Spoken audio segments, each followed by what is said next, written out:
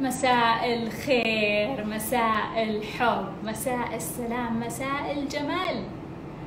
شخباركم شكرا لللايكات والقلوب والكلام الجميل. اليوم أبغى أتكلم عن موضوع بما إنه بما إنه إحنا كلنا يعني رايحين نتغير. كلنا كلنا رايحين نتغير. إلا اللي ما يبغى يتغير عاد شيء آه، ثاني.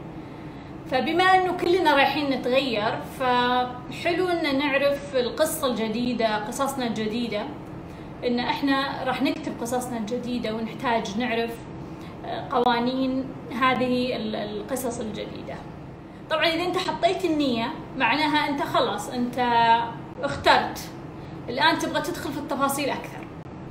حطيت النية إنك أنت تعيش بسعادة إنك تعيش بحب إنك تعيش بحرية إنك تعيش بسلام إنك تعيش بثراء ايا كانت القيم اللي أنت مهتم فيها. حطيت هذه النية بعدين الآن تبدأ في موضوع التفاصيل تفاصيل النية. إنك تقول شلون وتدخل في تفاصيل الأشياء اللي أنت تبغاها. أبغى أتزوج أبغى أتطلق أبغى أجيب أطفال أبغى أعيش في المكان الفلاني أبغى أحصل كذا. فتدخل تبدأ تحكي تفاصيلك تكتبها تتصورها تحط صورها عشان تدخل في هذا الجو القصة الجديدة. عشان نعرف إحنا قوانين القصة الجديدة لابد أن ننتبه لثلاثة أشياء مهمة. أول شيء إنه في القصة الجديدة اللي أنت وضعت نيتها في القصة الجديدة اللي أنت وضعت نيتها. أنت أنت الكاتب. بس انت مش المخرج في قصتك الجديدة في قوانين القصة الجديدة اللي نعيشها. انت الكاتب بس مو انت المخرج. انت الكاتب بس مو انت المخرج. بمعنى انه انت اللي راح تحط النوايا الرئيسية لكن الكيفيات شوية راح تكون آه، من الصعب التنبؤ فيها في ظروف جديدة على البشر. من الصعب إنك تتنبأ طب أنا نويت الصحة مع إنه قاعدة الأمراض تنتشر. طب شلون؟ طب كيف؟ طب هل يعني إني أنا أسوي كذا؟ هل يعني إني أفعل كذا؟ هل يعني إني أنا خلاص بكرة بقعد بالكهف ولا ولا راح أختلط مع أي أحد؟ ما نعرف. مو مهم. المخرج المخرج وش يبغى؟ بتصير. المهم إنك أنت الكاتب. المهم إنك أنت تكتب اللي أنت تبغاه. الكيفيات مو شغلك. الكيفيات لا تنشغل فيها. تبغى تتسوى بهالطريقة ولا بهالطريقة ولا بهالطريقة المهم في النهاية إنك أنت حققت قيمك حققت أهدافك حققت نوايا ليش أنا أقول لك هذا الكلام؟ لأنه المرحلة اللي إحنا راح نمر فيها حاليا مرحلة كثير مختلفة عن الشيء اللي إحنا نعرفه قبل. كثير مختلف. كثير. يعني ما نعرف مثلا شلون بتكون آه، الوضع الصحي المستقبلي للبشر. ما نعرف شلون يكون آه، درجة ذكاء أو عبقرية البشر. ما نعرف شلون راح نتعامل مع الذكاء الاصطناعي. ما نعرف شلون نتعامل مع آه، أدوات الحروب الجديدة. ما نعرف كثير أشياء كثير أشياء ما نعرفها. فهي مش موجودة في ذاكرتك. مش موجودة في طاقتك لأنك ما تعرفها. فهي مش موجودة في ذاكرتك ومش موجودة في طاقتك. ما أبغى لما يصير شيء بكيفية مختلفة أنك تقول أوه لا. لا مو هذه الكيفية اللي اتفقنا عليها. مو هذه الكيفية اللي أنا كنت أتوقعها. لا أنا كنت أتوقع أنه يجي يطق الباب ويخطبني بالطريقة التقليدية اللي أنا أعرفها. أنا ما, ما نعرف. ممكن يكون الخطبة بكرة بالآب. كذا يعني يطق بابكم يعني يطق الآب. يعني يضغط الزر في الآب ويقول ممكن؟ فما نعرف شو شو شو الطرق الجديدة اللي إحنا ما نعرفها. هذا أول قانون. أنت الكاتب ولست المخرج. لذلك اسمح للمخرج إنه يتفنن في تنفيذ آه، قصتك وتنفيذ الكتابة اللي أنت حطيتها. ما دام أنت حطيت خلاص انتهت القصة. نيتك هي النافذة. القانون الثاني اللي أبغى أكلمكم عليه اليوم هو كثير مهم. إنه المرحلة اللي إحنا نعيشها المرحلة التاريخية اللي إحنا نعيشها هي مرحلة كثير كثير كثير فيها قمم جديدة للبشر. فيها قمم جديدة إحنا ما شفناها ولا عرفناها ولا نعرفها ولا هي موجودة في تاريخنا ولا هي موجودة في ذاكرتنا ولا هي موجودة في طاقتنا. قمم جديدة راح يوصلون لها البشر. وفي نفس الوقت قيعان جديدة. وهذا يعني إنه راح يكون عندنا بشر كثير بمستوى عالي وبشر كثير بمستوى متدني. لذلك وأنت تكتب القصة انتبه لهذه السعة انتبه إنه في قمم وفي قمم انتبه لهال هالمساحة الشاسعة. إنه في قمم وفي قيعان. في قمم قمم قمم جديدة ما يعرفونها البشر ما يعرفونها ما سبق مرت عليهم. وقيعان جديدة ما يعرفونها البشر ما سبق مرت عليهم. كلها أشياء جديدة ما سبق مرت عليهم. فهالمساحة هذه تحتم عليك إنك أنت تنتبه للقمم الجديدة؟ إنك ما تعلق بالقمم القديمة. إنك لا تقول لا أنا لازم أسوي كذا أسوي هذا الموضوع أنا أحصل على هذا الهدف. لا. ما تدري وين القمة الجديدة رايحة. فمهم إني أنا أنتبه للقمم الجديدة وعلم يما خفت. خفت من إيش؟ خفت من إيش يا جماعة؟ مرات أحس إن المفروض الواحد ما يتكلم، أنا أعتبر إنكم أنتم ناس واعين، خفتي من إيش؟ الحياة في غاية المتعة، خايفة من إيش؟ ما في شيء يخوف، ما في شيء يخوف. إذا انت خايفة خلاص طفي الدنيا. طفي كل الإنستغرام و... وتويتر وسن... طفي الدنيا ترى. ترى انت يعني قدامك راح تشوفين كل شوي بيجي مرض وما أدري إيش وبعد ما أعرف مين اللي طلع مجاعة راح تجي على البشرية بس إحنا ما راح تجينا مجاعه في في في بشر تجيهم مجاعة لأنه في قيعان إحنا ما راح تجينا مجاعه هو ما في شيء يخوف. إذا أنت حاط نيتك ما في شيء يخوف. بس إذا أنت يعني إذا أنت صراحة يعني يعني رامي نيتك عند الجيران ولا عند أحد يعني كذا ما, ما عنده سالفة ويعني جاي تتسمع الأخبار يعني يعني صراحة موقعك ما موقعك غلط هنا. أنتم ما تحسون انكم مبسوطين إن إحنا نعيش تجربة جديدة. ما أنتم مبسوطين إنه إحنا قاعدين نعيش تجربة جديدة؟ أوه قاعدين نشوف أشياء جديدة أول مرة نشوفها. لسه لسه وجايين في الطريق أشياء جديدة. كثير متعة. أهم شيء أهم شيء إنك تكون حاط النية ومركز. بس بس ما في شيء يخوف. ما في شيء يخوف إلا عاد الخواف عاد مشكلتك. مشكلتك. الخواف يعني قلنا لك نبهناك وضحنا لك بهدوء. ناقشناك ناقشنا لك الموضوع سنتين وأنا يعني الت وأعجن وأقول يا الخوافين يا الخوافين انتبهوا يا الخوافين. يعني صراحة ما ما أقدر عاد أطب من الشاشة يعني وأسوي لك أنا بحث وأقول لك تفضل سوي ما ما أملك هذه القدرة يعني. فإذا أنت خايف تصرف. ما هي معقولة تصير زي البزران قاعد تقول آه خفت خوفتونا. آه. طيب آه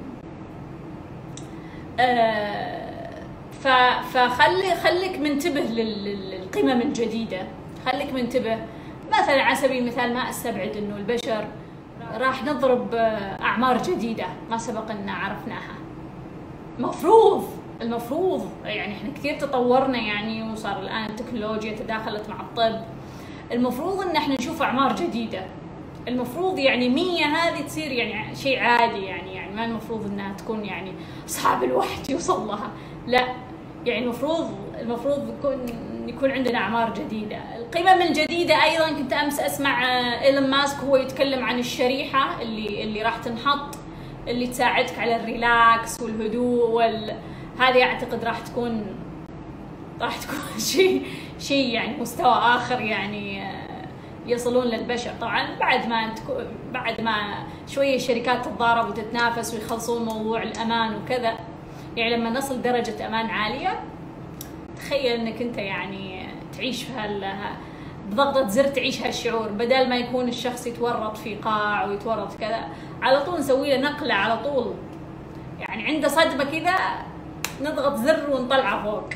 أكيد الشيخوخه أكيد راح يكون في أشياء مختلفة. بس في ناس راح تكون شيخوختهم سريعة برضه في ناس راح يكونوا مرضى أنتم شايفين الأمراض جاية. في ناس آه، راح يتورطون بأمراض وتبعات الأمراض. أكيد. فهذا اللي أقول لك إنه في قمم جديدة إحنا ما نعرفها. يعني آه، السيارات راح تتغير الطيارات ما أعرف. يعني ممكن تكون في أشكال جديدة. فراح كثير أشياء راح تتغير. ففي قمم جديدة وفي قيعان جديدة. لذلك انتبه وانت تحط قصتك انك انك تنتبه لهذه المساحة. تقول لك الناس خايفة من كل شيء اسمه شريحة؟ لا إذا كان إذا كان يعني إذا كانت شيء يعني من مصلحتك وانت المتحكم فيها أنت تقدر تحطها وتشيلها تقدر تحطها في الزبالة. يعني يعني هذا تطور. هذا تطور. بس إذا كان أحد يحطها فيك ويتحكم فيك لا هذا شيء ثاني. هذا شيء ثاني يعني. الشيء الثالث اللي من المهم إن نعرفه في موضوع قوانين القصة الجديدة إن نضع في هذه القصة مساحات. مساحات لايضا التجارب الجديدة والأهداف الجديدة. لأنه ممكن أنا عندي هدف مثلا أقول عندي هدف إني أنا أسوق السيارة. طيب إذا كان في الآن أداة جديدة مش السيارة معناها عندي هدف مختلف. إذا كان عندي هدف الآن إني أنا أقتني أو يكون عندي والله عاملة في المنزل. تغير الهدف صار يكون عندي روبوت بالمنزل. فالمساحة اللي أنت تحطها تسمح لنفسك إنك أنت ما تنصق على هدف خلنا نقول قديم. ما عاد يناسب المرحلة. وإنك تسمح لنفسك إنك تجرب الأشياء الجديدة اللي يغلب عليها انها إنها نافعة لك. اللي يغلب عليها إنك أنت راح تنتفع فيها. فهذه المساحة تخليك إن أنت تسمح بالتغيرات الإيجابية أنها تحصل. أنك تسمح لو في شيء إيجابي لو في شيء يحمل ذبذبات عالية لو في شيء يحمل طاقة عالية أنه يتجلى في حياتي فزي ما أنت حاط نيتك وزي ما أنت حاط قيمك وزي ما أنت حاط أهدافك وزي ما أنت كاتب القصة وسامح للمخرج أنه يحط الكيفيات أيضا تحط ضمن هذه النية أنك تسمح لكل الطاقات العالية والذبذبات العالية الجديدة إنها تتجلى في حياتك. وهذا يدعوني إلى إني أذكرك بشيء كثير مهم. هذه كلها أدوات لليسر. يدعوني أذكرك بشيء كثير مهم. إنه أحد طرق اليسر اللي هو الطريق الخفيف اللي ما فيه زحمة. طيب. ولما يكون فيه تغيرات جديدة في الحياة تظهر هذه الطرق الخالية. خلك منتبه. سيظهر طرق خالية. سيظهر طرق ما فيها ناس تبحث عن ناس. خليك الأول. خليك الأول. اللي يمشي الأول راح يعني يفوز. اللي يمشي الأول في هذه الطرق راح يفوز. فخليك مراقب. زي ما أنت تراقب الأخبار الرديئة والتعبانة واللي تضايقك واللي تخوفك. أرجوك راقب الأخبار الجيدة. راقب. راقب الناس اللي طاقتهم عالية. وش مسوين؟ وين رايحين؟ وش قاعدين يخططون عليه؟ وش الطرق اللي يسلكونها؟ إيش الذبذبات العالية اللي يختارونها؟ فأرجوك ضمن نيتك وكتابتك لهذه القصة اسمح للطاقة الجديدة الذبذبات العالية أن تتجلى في حياتك. خلها مساحة في قصتك. اسمح لها لا تعلق في القديم. لا تطول وأنت عالق في الأشياء القديمة. لا تطول وأنت وأنت خلاص. خلاص بنتغير بنتغير بنتغير بنتغير لا تطول وأنت مصر على على على نفس الشكل اللي أنت فيه. النسخ هذه كلها إحنا بنرميها وبتكون عندنا نسخ جديدة. جديدة وجيدة. إذا شفت الصورة الكلية وأحس إن الحياة حلم. واعي. قصدك إنه في حال في حال إنك شفتي الصورة الكلية للحياة وصار هذه هذه اللحظة اللي شفتي فيها الصورة الكلية للحياة صارت مشابهة للحظة الحلم الجلي اللي في المنام اللي لما تكونين نايمة بالليل. إذا شفتيها وصارت هذه زي هذه راح تستيقظين أنا ما أعرف انت ليش ربطتي بينهم خليني أبغى أقول لك شيء. الوصلات العصبية في الدماغ آه يعني فيها فيها جنون لا يمكن تصوره. وفيها في طرق آه لا منطقية في غالب الأحيان. وارد جدا إنه تلقى شخص مثلا يشوف ال يشوف الشيء يفكر بشيء مختلف تماما. لأنه الوصلات توصلت بطريقة غلط وتلخبطت. أغلب الناس بهالطريقه وصلاتهم العصبية توصل غلط. بس الكلام إنه أنت تفترضين فرضية انت أنت ما صار هذا الشيء لك. فما ودي إنك تفترضين وش الإحساس هذا. يعني مثلا زي شخص يقول لك يلا أنا بدخل meditation الآن. أنتم بالضبط وش وش النقطة اللي تبغون يوصل؟ إيش النقطة بالضبط بالضبط بالضبط؟ إيش إيش الإحساس بالضبط اللي راح أوصل له؟ يا عمي إحنا أصلا ما عندنا ال dictionary للإحساس أصلا. إحنا يعني إحنا أنا لما أقول حب أقصد شيء وأنت تقصد شيء. أنا لما أقول راحة أقصد شيء. أنا أقول متعة أنت شيء وأنا شيء. فما بالك إنه يشرح لك نقطة معينة حسيت فيها في لحظة معينة في مكان معين؟ لا يمكن إنها تصل. لا يمكن. فإذا كان أحد شرح لك هذه الفكرة فهي خاصة فيه تماما. وإذا كنت أنت تفترضين إنه هذا الشيء يحصل فأقترح عليك إنك تبطلين افتراضات. لأن كل شخص لحظة الاستنارة عنده مختلفة عن الآخر. مختلفة عن وش هو يشوف وش هو يحس وشلون يوصل. في أشخاص يعني يصير يصير لهم موقف كذا يعني فر كل حياتهم. في شخص يعني يوصل قاع وقاع قاع وينجلد ويعيش بين الحياة والموت بعدين يعني تنفتح النافذه شوية. فما تقدرين انت تحدين تفكيرك أو تسرقين من أحد الفكرة. لانها ما تنسرق باختصار ما تنسرق. ما تنسرق كل شيء كل وعي خاص بشخصه. فما المفروض إنه إحنا أصلا نتشابه. ما يتوقع إن إحنا نتشابه. لأن فلاترنا تختلف فما راح نوصل نفس نفس الفكرة. فلا تفترضين هالفرضيات لا تاخذين من أحد. تكاسلي عن طرح مشكلاتي على ورقة يعني إني خايفة. آه، ممكن وممكن شعور ثاني. مرات الخوف يمنعك من المواجهة مرات العار. العار صراحة إذا أنا بتكلم عن أحط ابى أحط للعار نصيب الأسد. ان انت متفشل شيء يفشل. شيء يفشل إني سويت هذا الشيء. شيء يفشل إنه حياتي مرت بهذه القصة. شيء مخجل جدا إنه صار هذا الحدث. وفي أشياء تخوف مرة تكون غاضب من نفسك. فيختلف الشعور يختلف يعني بس مؤكد هو شعور سلبي. اللي منعك هو شعور سلبي. كيف أقدر أفعل يسر في حياتي؟ لأن أنا دائما أحاول أنظر للأحداث بتفاؤل بس دائما تصير معي نفس المواقف. آه إيمان حبيبتي أول شيء أبغى أقول لك إنه أنت يعني مبسوطة أنا إنه أنت متفائلة يعني عندك تفاؤل في الحياة.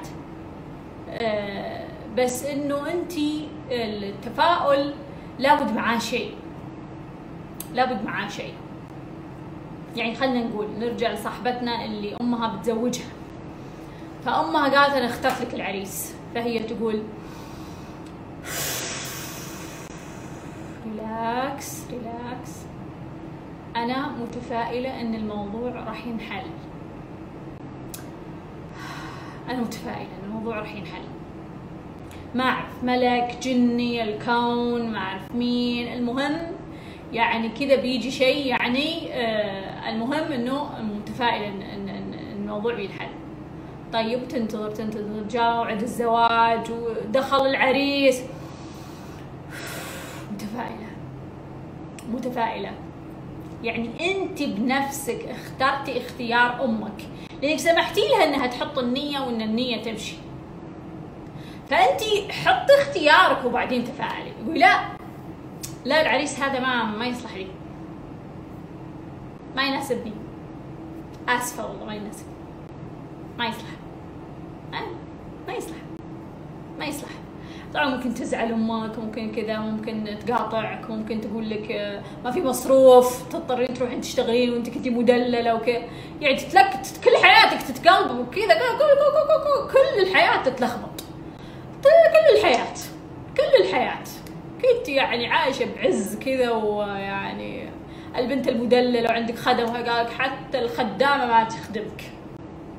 وحتى بطلعك برا البيت. ها آه يلا. آه آه.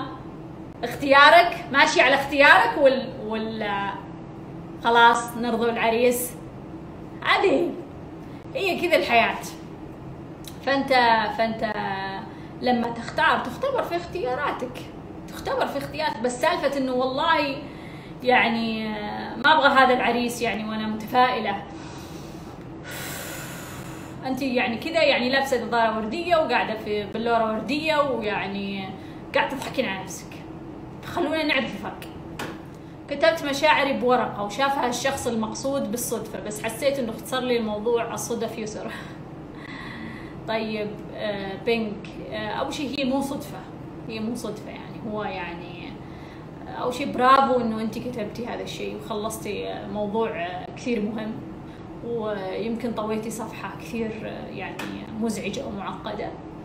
آه، والسبب انه إنه طريق ال- ال- ال- الوضوح هو طريق اليسر مش الصدفة ال- الوضوح الوضوح يعتبر من قوانين اليسر. الوضوح تكون واضح لذلك أغلب البشر معقدين. وضايعين مبسوطين في التعقيد. لأنهم مو واضحين. لأنهم مو واضحين. آه، اليوم كنت أقول ال- الوحدة أقول لها كنت أنا آكل معمول. okay. فأقول لها تبغين معمول؟ فقالت لي لا. قالت لي لا ما قالت لي لا. قالت لي شكرا. قلت إي ولا لا؟ قالت لا. واحدة ثانية بجنبي قالت تعلق على سلوكي قالت من شاور ما عطى. أنا طبعا انصدمت. طبعا قلت أبغى أتأكد إنه الرقم واحد يعني هي يعني مستحية ومتفشلة وكي ولا. قمت طلعت معمول من شنطتي وعطيتها. لها خذي قلت شكرا. عالم ضايعة. سألتك سؤال واضح. تبغين معمول ولا ما تبغين معمول ليش اللف والدوران؟ يعني أنا ما راح أقول تبغين معمول ولا ما عندي معمول ولا ما راح أعطي معمول. بقول لأني أنا عادي مستعده أعطي. وشلون الثانية فهمتها؟ فهم الناس طوال الوقت غامضين. يعني أنا أنا ما فهمت الموضوع لما الثانية قالت غموض. غموض يعني ولا يفهمونك لما تكون واضح. ما يفهمونك يفهمون إنك أنت يعني قصدك شيء ثاني طريقتك شيء لا هو واضح تبغى ما تبغى. فبسبب إنه إنه الناس ما تعرف تكون واضحة فبالتالي النتيجة الطبيعية لما أنت ما تعرف تكون واضح وما تتجاوب مع الوضوح لما ما تتجاوب مع الوضوح أنت على طول تدخل خطوط التعقيد. الوضوح أحد قوانين اليسر موجودة كل هذا الشرح موجود كله في, كورس خطوط اليسر. كثير ال- الكورس ممتاز اللي مهتم يحضر. فلما تكون واضح أنت مع نفسك واضح مع الآخرين ولما أصلا تتعامل معهم تتعامل معهم بوضوح ترسل لهم الرسائل بوضوح وتستقبل منهم بوضوح وتستفسر بوضوح فبالتالي أكيد إنك أنت أنت خطك راح يكون يسير. خطك راح يكون يسير. يعني الآن تلقى واحد يعزم يقول تفضلوا تفضلوا على العشاء. طبعا يقولها يقولها ما يقصدها ما يقصدها. لا عنده عشاء ولا يمكن عنده فلوس العشاء ولا هو مستعد ولا له مزاج إنه تفضلوا تفضلوا الله يحييكم. يعني كذا يعني وش يسمونها بالمصري؟ إيش العزيمة المراكبية هذه؟ يعني كذا يعني إيش تسليك يعني شغل أي كلام كذا. الثاني يرد عليه يقول لا والله أنا لو واحد قال تفضل على العشاء وكنت أبغى أقول يلا يلا يلا. ماشي نذوق عشاك. لا شلون تقول تفضل العشاء وانت ما تقصد؟ هو لغز هو الحياة وأنا المفروض افهم انك ما تقصد. أنا المفروض اني افهم انك ما تقصد انك انت تضيفني المفروض افهم انها مجاملة. شيء عجيب. لا ومبسوطين ماشيين على الجو كل واحد يصدق للثاني. يعني الأول يكذب والثاني يرد عليه بالكذب. والثاني يدري إن الأول يكذب والأول يرد يعرف إن رد الثاني يكذب.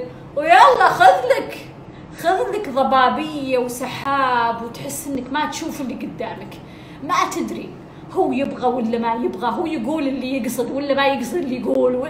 ما تدري وش القصة تحس انك كذا يعني يعني في متاهة. يحبون يحبون الغموض يعشقون الغموض.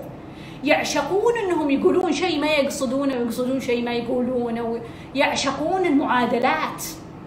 يحبون انهم يعني انك انت ما تعرف يعني وش قصدهم إلا بمعادلة معقده يا عمي وش وش الحياة؟ وش الحياة؟ فالوضوح الوضوح طريق يعني انت لو قررت انك تصير واضح تبدأ بنفسك. تبدأ بقصة المواجهة اللي اتفقنا إنها أول خطوة لتطوير الذات. لو بدأت بالوضوح مع نفسك راح تشوف بعيونك اوعدك اوعدك خلال أسبوع. خلال أسبوع واحد اوعدك لو صرت واضح مع نفسك اوعدك خلال أسبوع راح تشوف الوضوح قدامك. راح تشوف الناس التعبانة والناس الجيدة والناس المعادلات المعقدة والرياضية والناس السمحة والسهلة والطريق اليسير والطريق المعقد. أسبوع واحد. أسبوع واحد. راح تجيك دلالة. راح تجيك إشارة. مستحيل مستحيل إنسان واضح صادق لا ترتد له الكارما بهذه السرعة وبهذه البساطة. مستحيل. مستحيل. الوضوح والصدق عملة نادرة في هذا الزمن. البشر تكركبوا وتعقدوا بالماديات والفكر لدرجة إنه يصعب عليهم إنهم يكونوا صادقين مع أنفسهم فما بالك إنهم يكونوا صادقين مع غيرهم.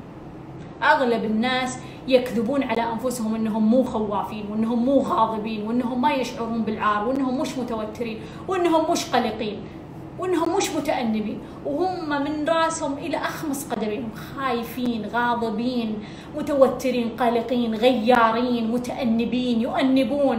ومسك لك اجلد الناس الناس فيها وما فيها وما فيها وما فيها.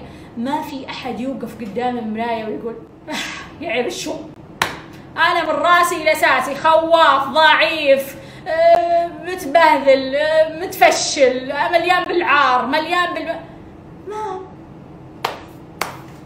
صعب صعب إن نكون بهذا الوضوح بس سهل إن ندمر الناس ونقول لهم أنتم وفيكم وما فيكم بس صعب. صعب نوقف قدام مرايه ونكون واضحين. ذلك فرصة ورسالتي لكم لليوم. الوضوح. الوضوح خليك واضح. جرب. شو وراك؟ جرب. اعتبرها تجربه اعتبر إنك داخل في لعبة مع الكون. وتقول okay. okay. أصير واضح. طيب. أصير واضح. وروني. وروني إيش بتصير في في الطاقة وفي الذبذبات وفي أهدافي وفي في, حياتي؟ وروني خلوني أشوف. أبغى أكون واضح. وأبدأ. أبدأ بخطوات حقيقية وعملية للوضوح. وشوف إيش يصير. وأكذب كثير. تقول لك وأكذب كثير بعد. يعني زود على كل هالحوسة. زود على كل هالقصة يعني بعد. إي صح في ناس اللي يعني يكذبون بقصد. نسيتهم هذولا. هذا مرحبا متقدمة نسيتهم. اللي يكذب يعني بنية الكذب يعني يعني مع, مع الإصرار والترصد. أشعر بطاقة مرتفعة بنفس الوقت شعور عدم ارتياح داخلي. يا حبيبتي أول شيء خليني أذكرك إنه في المرحلة اللي إحنا نمر فيها والتغيير اللي إحنا نمر فيه آه إذا شبكتي مع الطاقة العالية راح تحسين فيها راح تحسين كيف الحقائق واضحة كيف الخير واضح كيف النور واضح. كيف الناس الطيبة موجودة ومتوفرة. راح تشوفين هذا بوضوح راح يتجلى في حياتك. في نفس الوقت راح يكون عندك شوية شعور وتساؤلات وكذا يعني في في كم سؤال يعني. والسبب إنه مش عندنا في ذاكرتنا مش عندنا في طاقتنا. ما سبق جربنا إنه عندنا كورونا وعندنا حظر وعندنا ما أعرف إيه. ما سبق جربنا هذه الأشياء فمش موجود في ذاكرتنا. فمن الطبيعي إن يكون عندك هذه التساؤلات. بس ما المفروض إنها تطلع لمرحله أوه خوف وقلق وتو... لا ما المفروض. ما المفروض إنها توصل هذه المرحلة. المفروض إني أنا أركز على النور وأستمر بطاقة جيدة. كيف وضعي بيتيسر؟ أنا أشعر بمشاعر جيدة. ممتاز. أحاول أغير بواقعي. ممتاز. بالأدوات اللي عندي ولكن لم يتغير إلى الآن. تكلمنا قبل كم يوم على موضوع استخدام الأدوات الفكرية المضخمة. اللي ناقشناه أه وتكلمنا إنه مرات أنت أه تستخدم الأدوات الغلط أو أو تفهم أدواتك بطريقة غلط. بسبب ما يعني؟ ما, ما نعرف شو السبب. ممكن أنت اخترت ممكن أحد اختار لك ممكن أحد نبهك على شيء أنت ما انتبهت لشيء. أه جزء كبير من من تغيير الواقع يعتمد على معرفة الذات. جزء كبير من قدرتك على تغيير واقعك ويعتمد على إنك تعرف نفسك. إنك تعرف نفسك جيدا تعرف مشاعرك الإيجابية مشاعرك السلبية تعرف إيش نقاط قوتك إيش نقاط ضعفك تعرف إيش الأشياء اللي تقدر تستخدمها إيش الأشياء اللي ما تقدر تستخدمها. هذا جزء كبير مهم. لذلك أنا أنصحك إنه تغيرين الأدوات اللي أنت قاعدة تستخدمينها. لأنه من المحتمل إنه إنه الأدوات اللي استخدمتيها ما اشتغلت. فمهم إنك أنت تستخدمين أدوات أخرى. أنا قدامي أكثر من خيار لشريك الحياة. كيف أعرف احتمالي الأفضل؟ أقول لك بس ما تزعلين مني. أقول لك بس ما تزعلين مني. أوكي؟ ولا واحد منهم. ولا واحد. ولا واحد. أكثر من خيار يعني. عندك عندك آه، طابور من عشرة أشخاص. صح؟ طابور من عشرة أشخاص. اللهم زد وبارك. عندك زحمة يعني. طابور من عشرة أشخاص تقول ما أعرف كنا يعني طويل شوي لا مم. كنا أصلع مم. كنا شوي يعني عصبي. غيار مم. فأنت يعني قاعد تقلبين البضاعة شريك الحياة مش بضاعة تتقلب ها شريك الحياة مو بضاعة تتقلب. شريك الحياة لما يجي يغطي على كل البضاعة. هذا مو مو هذول مو شركاء هذولا هذول خيارات طماطات شيء يعني شيء ما أدري وشو. بس هذول مو شريك حياة. سوري. سوري يعني الشخص اللي بيجي تحسين إنه فعلا يعني مالي مكانه يعني ما المفروض إنك انت تقولين يعني هذا ولا هذا ولا هذا لا. ما المفروض؟ الهدف معقد وكل مرة أتركه لأنه أتعبني وما تحقق. يرجع لي بشكل غريب إيش يبي مني. خلينا نقول انت تبغين هدف. مشيتي في الطريق تسكرت البيبان في وجهك. قلتي ما أبغى. صح؟ قلتي ما أبغى هذا خلاص أنت تعبتي معقد وكذا أنا ما أبغاك. فصديتي ورحتي مكان ثاني. فجأة جاء قدامك كذا يعني وفتح الطريق انه انفتح الطريق. طيب أوكي كملي في الطريق. انفتح لك الطريق اللي كان معقد. كملي يمكن كان الاتجاه غلط يمكن كانت الطاقة غلط يمكن كان المكان غلط الزمان غلط. تصير مرات مثلا مثلا سيدة تحاول إنها تحمل تحاول تحاول تحاول تحاول بعد تقول شو الطريق المعقد؟ خلاص. بعدها بكم سنة فجأة تحمل فتقول وش اللي صار؟ يعني الطريق المعقد موجود؟ خلاص. الطريق صار يسير. انتهت القصة المعقدة اللي انت كنت متورطة فيها. هل أحد أخذ ورث أخواتهم له كارما؟ قصدك سرق سرق ورث أخو أخواته؟ انت آه، انت تتكلمين عن موضوع قانوني ولا موضوع شرعي ولا تتكلمين على موضوع الوعي؟ آه، على موضوع الوعي حسب موقف خواته إذا قالوا عليك بالعافية فعليه بالعافية. إذا قالوا يعني ما إحنا محللينك فخلص هو تورط. متى أعرف إن هذا الطريق معقد؟ إذا حصل أي كركبة بداية وأثناء الموضوع أعرف إنه معقد وإلا أحاول. قصدك التوقيت إنه مثلا هل التعقيد يحصل في بداية الطريق ولا في منتصف الطريق ولا في آخر الطريق؟ أول شيء إذا حصل لك التعقيد في بداية الطريق خلاص أنت تقفل الموضوع من أولها. معناها معناها الباب مقفل من أوله. بس والله انت دخلت الموضوع بعدين جوا صار في تعقيد. معناها عندك رسالة في القصة اللي جوا. عندك رسالة مرتبطة في القصة اللي جوا هذه. قد تكون إنك أنت تحتاج إنك تطور أدواتك تحتاج إنك تفهم شيء معين. مرات يقفل عليك الباب مرة أخرى في هذا الطريق. فهنا خلاص أنت تسوي يوتير تعرف إنه أنت مالك مالك ممر. الموضوع ما يمشي. مرات في آخر الطريق تحس إنه تعقد الموضوع. هل تعقد إنه عادة لما نقرب نخلص الطريق يكون في شوي المشاعر ترتبك تتغير يكون فيها ملل يكون فيها شغف زيادة حماس زيادة. يعني يكون في ارتباك في الطاقة فارتباك الطاقة يتأثر يؤثر على الطريق. ففي مثل هذا الموقف أنت تقول هل أنا ماني متزن ولا لا؟ الموضوع إنه الباب تسكر. فاذا الباب تسكر معناها باخذ اليوتير معناها أنا مشيت الطريق كله مش عشان الهدف. مشيت الطريق اللي هو عشر سنوات مو عشان الهدف مشيت الطريق كله عشان رسالة ورسالة ورسالة ورسالة ورسالة وبعدين أسوي care فما كان الهدف هو المقصود أصلا. في القصة في الصورة الكبيرة الهدف ما كان مقصود. كانت الرسائل اللي في الطريق الهدف هي المقصودة. فما المفروض حتى إني أنا أزعل على هذا الموضوع. كيف أتخلص من الحقد ضد شخص اذاني أول شيء أنا شوي أبغى أغير الكلمة. أبغاك تغيرين الكلمة. please اليوم اقعدي مع نفسك وغيري الكلمة. لا تخلينها حقد. لأنك إذا قلتي أنا حاقدة فانت بتلومين نفسك. بتقولين أنا الشريره الحقودة. أنا أبغى أبغى أخلصك من هذه القصة فأبغاك تغيرين الكلمة. فاقعدي مع نفسك قولي أنا على فلان. أنا إيش؟ أنا مقهورة من فلان. أنا يعني أوجدي لي كلمة غير غير حاقدة هذه. أوجدي كلمة. عشان تحاولين إنك انت تتصلين بمشاعرك بشكل أصح وتفهمينها بشكل أصح. أحس أصدقائي الحاليين ما يشبهون في القصة الجديدة. آه، لأنه إحنا نتغير آه، راح تكون اختيارات الناس يعني راح راح تنصدم. راح تنصدم من اختيارات الناس. إحنا كل يوم عندنا اختيارات جديدة في الحياة وراح تنصدم ان الناس تختار اختيارات قد ما تكون نفس اختياراتك وقد ما تكون بنفس طاقتك وبنفس ذبذباتك.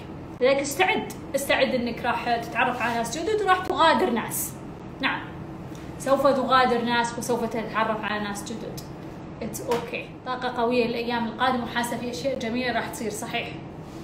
أشياء جدا جميلة راح تصير وجدا رديئة راح تصير. كله. كله. ركز إنوي اختار ارفع طاقتك ارفع ذبذباتك.